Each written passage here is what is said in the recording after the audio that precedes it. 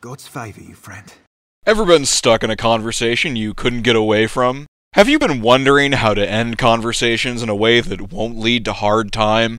ZeniMax Studios has created the very first simulation of what it's like to be trapped in a conversation with a clueless octogenarian with their brand new inescapable conversations glitch.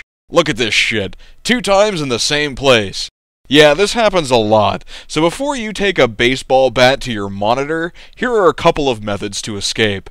A lot of players are fond of typing in slash reload UI. This will do the trick, but it does also involve waiting through a loading screen. We've got too much important video gaming to do for that crap. Instead of being a stupid faggot, try clicking on the mail icon. Remember this feeling, because it will be the last time you'll see an ESO mailbox in such pristine condition before the gold farmers take a five alarm chili shit all over it.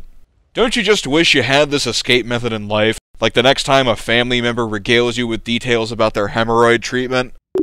Well, shit on a Bosmer. Catch you all next time.